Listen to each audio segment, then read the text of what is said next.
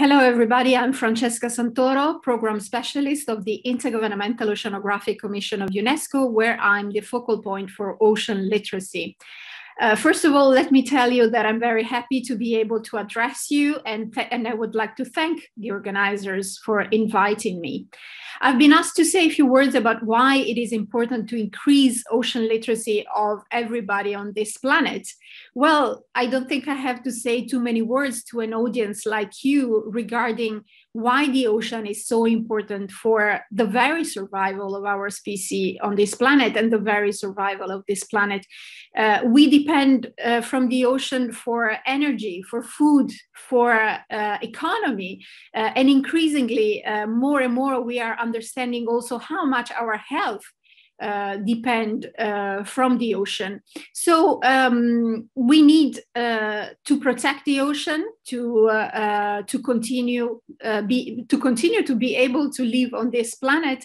and in order to do so, let me remind um, the words that Jacques Cousteau was saying, as you, as many of you might remember, he was saying that we only protect what we love, we only love what we understand, and we only understand what we are taught. So that's the very essence of ocean, literacy. It is about increasing everybody awareness. It is not only actually, that's the very starting point of ocean literacy. Ocean literacy is much more than becoming aware. Ocean literacy is really about uh, empowering people with tools to make action. As you might know, uh, the uh, United Nations uh, declared 20, 2021 to 2030 the decade of ocean science for sustainable development. And uh, we, as the uh, Intergovernmental Oceanographic Commission of UNESCO, have been mandated to uh, manage and to coordinate all the activities uh, of the ocean decade. ocean literacy is crucial for this decade. Why? Because uh, we want to make a sort of revolution in the way the ocean is studied uh, to move from uh, describing uh, phenomena to really uh, propose solutions, solutions to the numerous issues that we have to uh, consider and dealt with when, when it comes to ocean health. And of course, I'm talking about the climate crisis, I'm talking about biodiversity loss, I'm talking about overexploitation of living and non-living marine resources. Uh, so if we want uh, to propose solutions. Of course, the scientific world by itself cannot do that.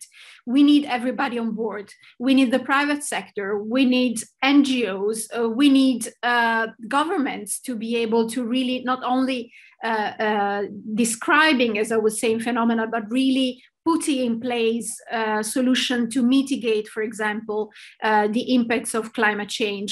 And in order to do so, we need, again, as I was saying before, to make everybody more aware, uh, more aware of why it is so important to study the ocean uh, that we know very little about still.